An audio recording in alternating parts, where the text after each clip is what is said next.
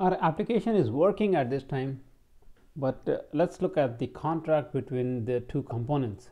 So here we'll pick display list and then display item.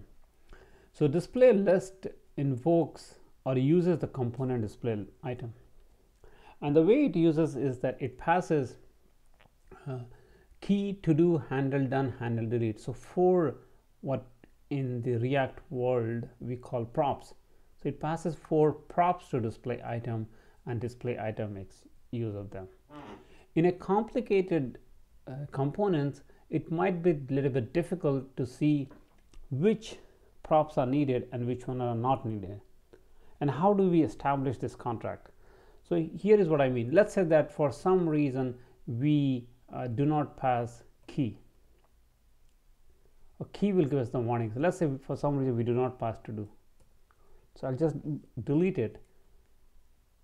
So now I'm getting the error cannot read property done of undefined. So I will need to do some debugging to find out what is it that I'm missing. Or the other scenario could be I have to do but then handle done. Instead of passing like this I pass handle done d lowercase. So let me do a full refresh. And once again I get the error but now I need to spend quite some time to understand what is going on. And for that I need to look in deep inside this component. And the whole idea is of component is that different teams can work on different components and everything will just come together. So how do we see what is the contract between one component and the other component?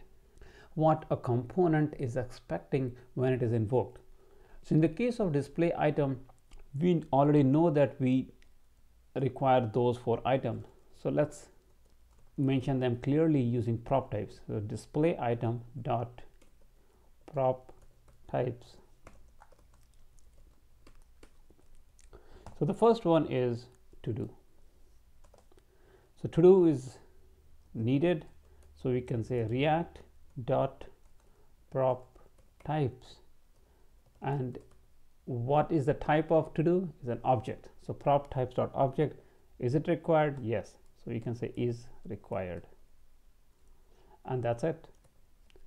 Now let's try to use display item without passing to do. So if we don't pass to do let's see what happens.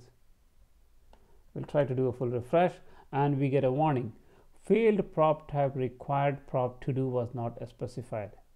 So now we know that hey we need to pass prop type uh, to do. And then once we do that then we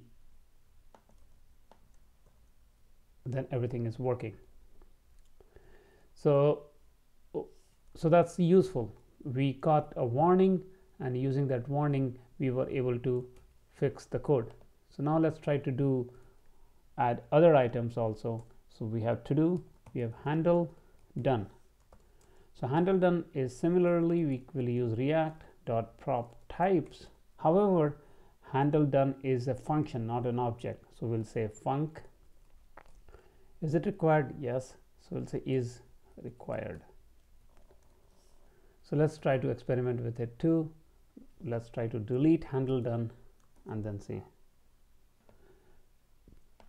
so uh, since we use hot reloading sometimes we need to refresh to see the error.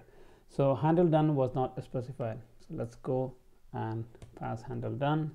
And similarly now we refresh it's working. And similarly we can do the same thing with handle delete.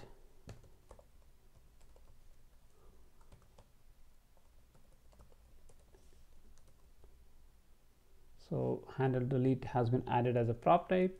Let's try to not pass handle delete and I will change the case of handle deletes as if it's not being passed.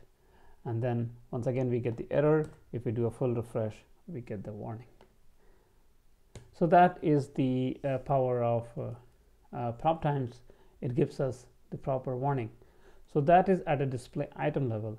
But display list also expects certain props from app so it can use prop types in the same way. Display list dot prop types. And since these three are exactly the same we can just copy them put them here. The only difference is that it will have to-dos instead of an instead of an object it will be array. And this is also required. So test it. We will go to app and here we will not pass let's say handle done. Let's try to do a full refresh and we get the warning that handle done was not specified. Now that it has been specified we can see that it is working properly. We got two warnings because one warning came from the display list uh, the one warning came from app when it is invoking display list and the other warning came from when display list is invoking display item because we have prop types on both of them. So anytime we need to we need to make it clear that when one is invoking this component pass these prop types pass these props then we can use prop types to make that contract much more visible